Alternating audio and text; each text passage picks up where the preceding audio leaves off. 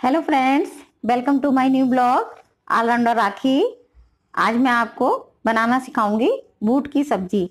एक बूट स- अम, होता है उस- मैं अभी आपको दिखाती हूँ किस तरीके का। उसकी आज आपको सब्ज़ी बनाना सिखाऊँगी किस तरीके से बूट की सब्ज़ी बनती है। और उससे पहले मैं आपको एक टिप्स देना चाहती हूँ। अब सर्दियाँ आ रही हैं तो सर्दियों में ज़्यादातर रूसी हो जाती है बालों में।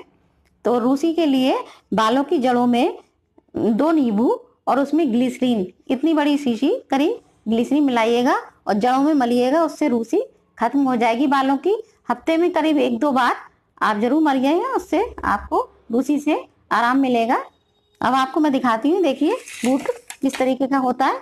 ये देखिए, ये बूट ऐसा होता है, ये मैंने धो के लिया हुआ है। ये हमारे यहाँ तो इसको बूट कहते हैं, ये ये आधा किलो बूट है करीब, ये मैंने लिया है, ये देखिए पास से, इस तरीके का ये बूट होता है। इसकी मैं आज आपको सब्ज़ी बनाना सिखाऊँगी, किस तरीके से बनती है। और इसके आधे किलो बूट के लिए मैंने ये प्याज लिए हुए हैं, चार प्याज करीब, और एक लहसुन की गंठी। बाकी मसाले, जो सब्ज़ी में सब पड़ते हैं, वो भी पड़ेंगे, हल्दी, धनिया, मिर्च वगैरह, गरम मसाला। मैं आपको बताऊँगी किस तरीके से इसको बनाते हैं। आइए, इसको पहले मैं काटूँगी किस तरीके से इसको देखिएगा। ये देखिए, इस तरीके से मैं इसको छीलूँगी। इसका थोड़ा छिलका मोटा होता है, इस तरीके से इसको पूरा छील लीजिएगा। इस तरीके से पूरा देखिए, इस तरीके से ये निकलेगा। ये देखिए, थोड़ा ये ये देखिए, पूरा मैं इसको छीलूँगी। छीलने के बाद आपको बताती हूँ, आप चाहें इसको गोल साइज़ में काट सकती हैं ये थोड़ा बड़ा है, मोटा है, इसलिए मैं इसको बीच से दो हिस्सों में काट के इसके दो पीस बनाऊँगी। वैसे गोल भी काट सकते हैं इस तरीके से। देखिएगा। तरीके से इसको ऐसे आराम से काटिएगा। ये वैसे तो बूट के नाम से शायद हर जगह मिल जाए, पता नहीं। इसको और कुछ भी कहते हैं, लेकिन हमारे यहाँ यूपी में इसको बूट के नाम से सब लोग जानते हैं। ये देखिए, इस तरीके से मैं इसको इस तरीके से काटती हूँ।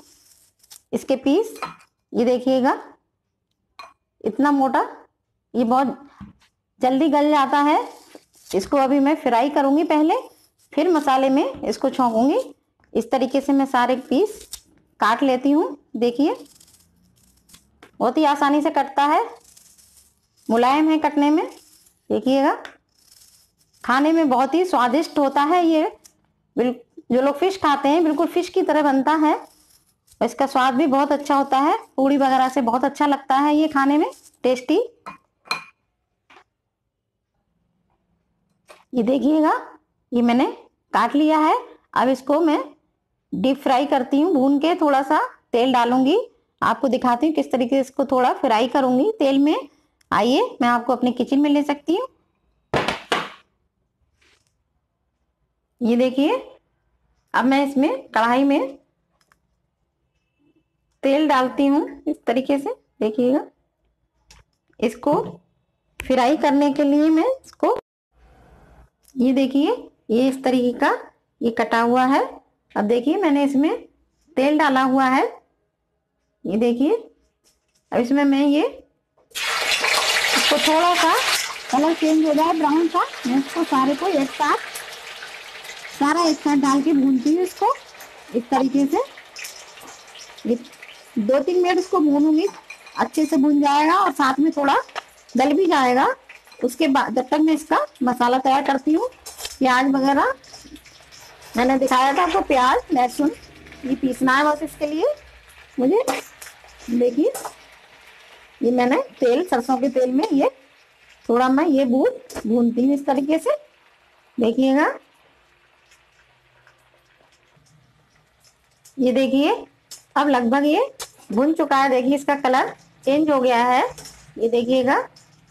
देखिए, अब इसको मैं निकाल लेती हूँ इस तरीके से। देखिए, इसमें मैं सबको निकाल के फिर कढ़ाई में इसको मसाले डाल के छौंकूँगी वैसे तो मैं लोहे की कढ़ाई का, ज़्यादातर मैं लोहे की कढ़ाई का ही यूज़ करती हूँ। नॉन स्टिक कढ़ाई की सब्ज़ी मुझे ज़्यादा अच्छी नहीं लगती। उसका स्वाद भी थोड़ा फ़र्क होता है लोहे की कढ़ाई का। बनी हुई सब्ज़ी टेस्टी और अच्छी और आयरन होता है उसमें, फ़ायदा करती है। ये देखिए फ्रेंड सरसों का तेल इसमें हो गया है। मैंने मेथी डाली हुई है। ये मेथी डाल के मैं इसमें प्याज डालती हूँ इसको। देखिएगा। इस तरीके से। देखिए। ये मैं प्याज डाला। इसमें लहसुन और प्याज। मेथी का इसको, इसमें मैंने तड़का लगाया है मेथी का। देखिएगा फ्रेंड्स, इस तरीके से इसको। अब ये, अब इसमें मैं नमक आप स्वादानुसार जैसा चाहे। ये देखिए, इसमें हल्दी, मिर्च, थोड़ी तीखी डालती हूँ मैं। ये गरम मसाला, ये घर का बना हुआ गरम मसाला है मेरा, मैं घर पे ही पीसती हूँ अपने सारे मसाले। मिक्स करके इसको मसाला, गरम मसाला, ये धनिया पिसा हुआ और इसको मैं भूनती हूँ थोड़ी देर। ये देखिए, फ्रेंड्स ये मेरा मसाला भून चुका है। ये देखिए।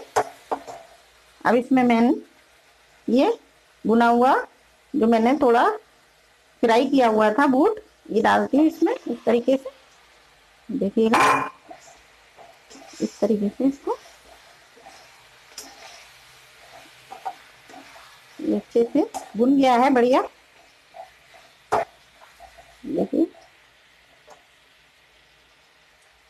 थोड़ा सा इसमें आधा गिलास करीब छोटा सा एक कप करीब पानी इसमें इस तरीके से डाल के तो थोड़ी देर के लिए मैं गलाऊँगी, बीच में देखूँगी फिर ये खोल के एक बार कैसा होता है। ये देखिए फ्रेंड्स, ये लगभग हो चुका है, बूट गल चुका है। ये देखिए इस तरीके से मैं ये दिखाती देखिएगा, ये गल चुका है तो इसको मैं दो मिनट के लिए और ढक के रखूँगी तो उसके बाद इसमें हरा धनिया डाल करके, ये देखिए मैंने ढक दिया। ये देखिए फ्रेंड्स, ये बूट अच्छे से मेरा भुन भी गया है, ये कितना देखिए। अब इसको मैं प्लेट में निकालती हूँ, फिर हरा धनिया डाल के आपको दिखाती हूँ।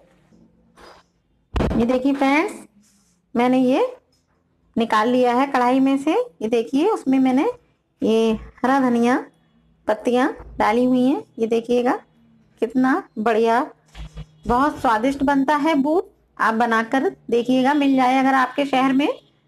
इसको और किसी नाम से जानते हैं तो पता नहीं। प्लीज़ ट्राई ज़रूर कीजिएगा, बहुत ही टेस्टी, बहुत ही अच्छा लगता है। खास तौर से पूड़ियों के साथ खाने में। हेलो फ्रेंड्स, देखिएगा ये बूट की सब्ज़ी मेरी तैयार है। बहुत अच्छी खुशबू आ रही है। प्लीज़ एक बार ट्राई ज़रूर कीजिएगा। और मेरा ये ब्लॉग आपको पसंद आया हो तो प्लीज़ सब्सक्राइब और लाइक, शेयर ज़रूर कीजिएगा। Please, thank you. Like